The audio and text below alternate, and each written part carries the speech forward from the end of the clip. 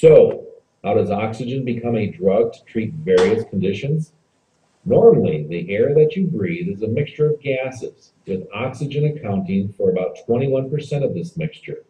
However, during hyperbaric therapy, you will breathe 100% oxygen and in pressure, causing the oxygen to dissolve into the plasma within your blood. This is known as hyperoxia. It also allows for higher concentrations of oxygen to flow through the body, including the areas with limited blood flow. This results in improved healing. Click on the system buttons to learn how hyperbaric oxygen therapy treats different conditions.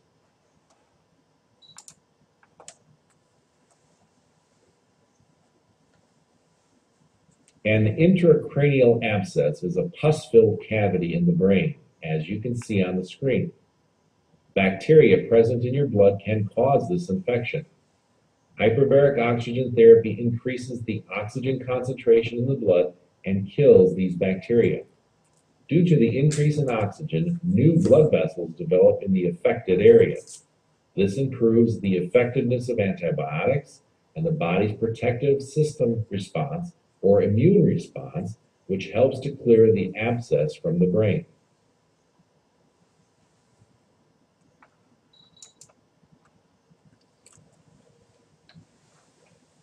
The central retinal artery is a blood vessel which supplies blood to the eye. A sudden loss of vision occurs when this blood vessel is obstructed. Hyperbaric therapy increases the oxygen concentration and dissolves oxygen into the blood, resulting in wide oxygen distribution. This allows oxygen to reach the retinal layer of the eye through other blood vessels. In patients with cilioretinal artery, an additional artery of the eye is present.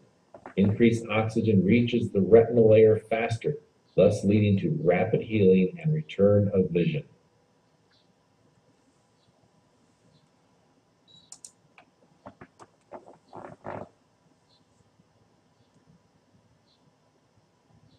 Carbon monoxide poisoning occurs when carbon monoxide attaches itself to hemoglobin, an oxygen-carrying protein in the blood.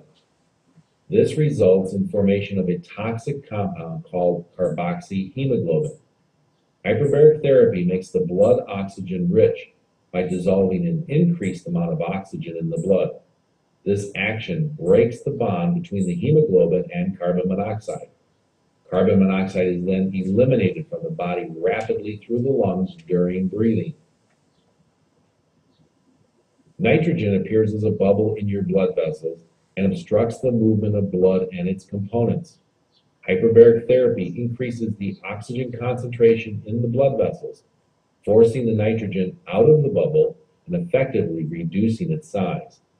The nitrogen bubble is then eradicated from the body through the lungs during breathing. A similar effect is obtained when treating bubbles present in an air or gas embolism.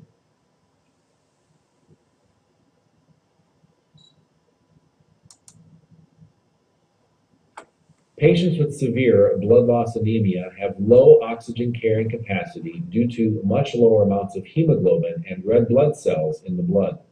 HBOT delivers increased oxygen under pressure resulting in large amounts of oxygen being dissolved into the blood. This maintains the body's oxygen demand and can sustain life until other medical therapies become effective.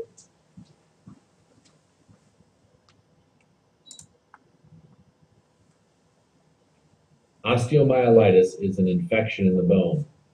Harmful bacteria present in the bone cause the infection, which can lead to pus formation and bone destruction. Hyperbaric therapy increases the oxygen concentration in the blood and kills the infection that is caused by the bacteria. The growth of new bone forming cells is stimulated, and dead bone cells are eliminated from the bone. Antibiotics are more effective due to the formation of new blood vessels, leading to rapid healing of this condition. Radiation injuries may affect bone or other soft tissues. Osteoradionecrosis is one such injury that occurs most commonly in the lower jaw. HBOT increases the concentration in the blood, stimulating new bone-forming cells in the affected area.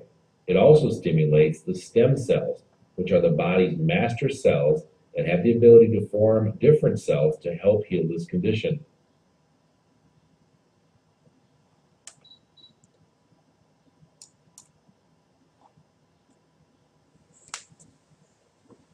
Hyperbaric therapy is effective in improving tissue hypoxia, or low levels of oxygen in the tissue, which is a common problem in all chronic wounds.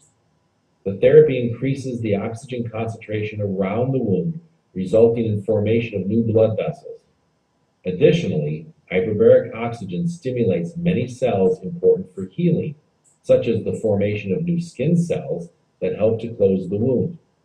Hyperbaric therapy can be used to treat problem wounds, including diabetic ulcers, compromised skin grafts and flaps, crush injuries, and thermal burns.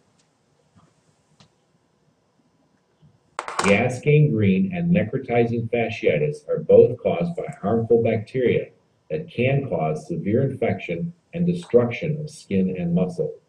HBOT increases the oxygen delivered to these areas, which kills the harmful bacteria. It also enhances the activity of white blood cells and certain antibiotics. These all result in rapid healing.